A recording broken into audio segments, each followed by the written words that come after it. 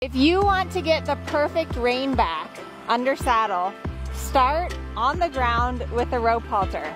Grab above the knot, squeeze the knot shut, go side to side until your horse backs up. It's always good to teach the rein back from the ground first because it's not a very natural movement for your horse. So teaching it on the ground can really help your horse to explain the aids.